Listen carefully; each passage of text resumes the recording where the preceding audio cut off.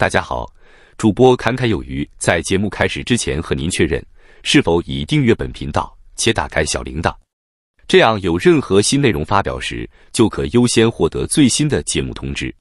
美国人工智慧晶片厂商 Cerebras 恰好在一年前申请上市，尽管其尚未迈出这一步，但现在已为自己争取到了更多时间保持私有化。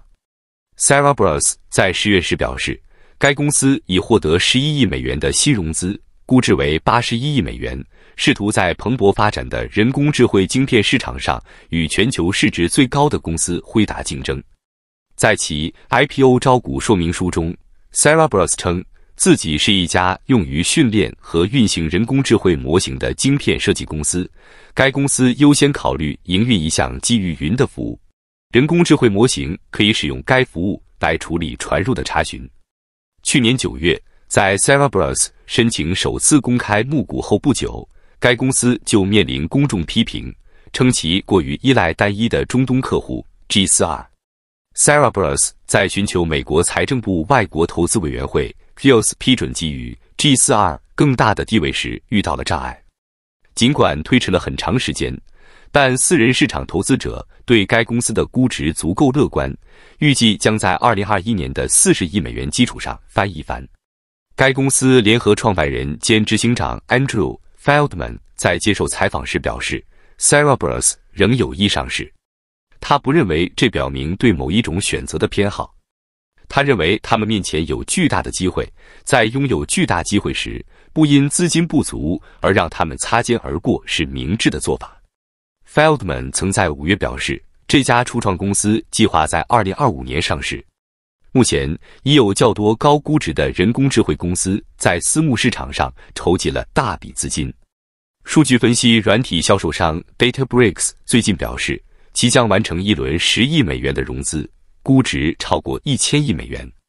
OpenAI 日前表示，辉达计划向该公司投资至多一千亿美元，用于建设资料中心。Anthropic 在九月初宣布。该公司获得了一百三十亿美元的融资，估值达到一千八百三十亿美元。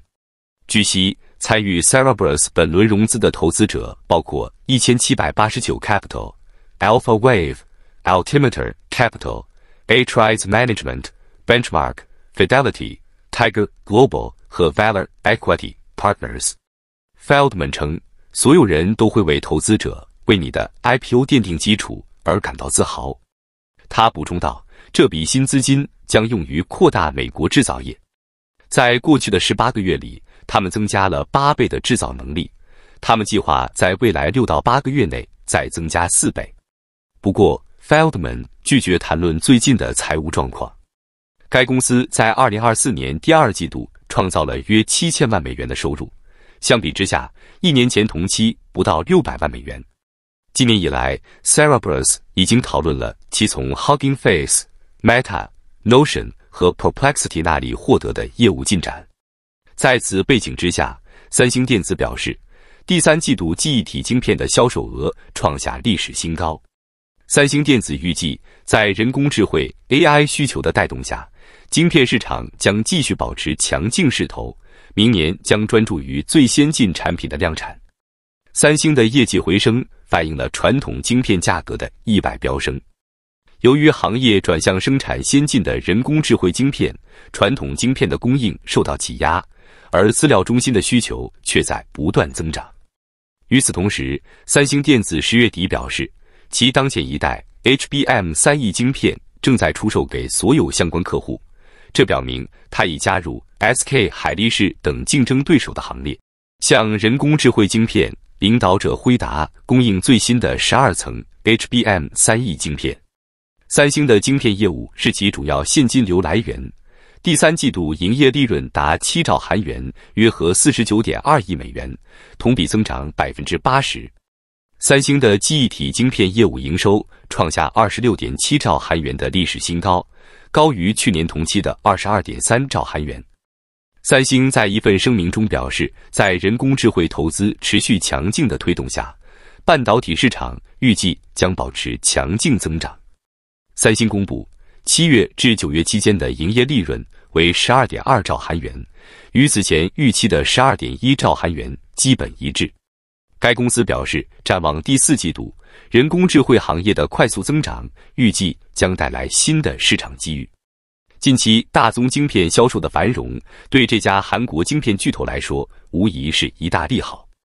此前，三星未能及时抓住人工智慧晶片需求飙升的机遇。而其同为辉达晶片组的主要供应商竞争的对手 SK 海力士则从中受益。投资者正密切关注三星能否凭借下一代 HBM 四晶片缩小与 SK 海力士之间的差距。三星表示，其 HBM 四样品正在运往主要客户，并将于明年集中精力进行 HBM 四产品的大规模生产，压住于不断增长的需求。据报道。SK 海力士将于本季度开始向客户供应下一代 HBM 四组件，并于二零二六年全面开始销售。而美光在 HBM 四市场上被认为稍显落后。报道称，由于美光在满足主要客户辉达所要求的效能方面遇到困难，传出可能需要重新设计 HBM 四产品的消息。一旦进行重新设计，生产工艺的调整可能需要长达九个月。这意味着其在明年实现量产的可能性较低。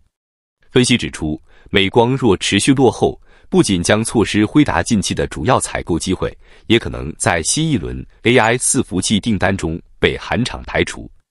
市场预期，短期内 HBM 四市场仍将由 SK 海力士与三星主导。美光能否在2026年重回竞争行列，将取决于其 HBM 四设计修正。与良率提升的进度。HBM 四是一种具备更高频宽和更高能效的先进半导体。由于其能够支持爆发式资料处理速度，被视为人工智慧 AI 产业和高耗电资料中心市场的重要解决方案。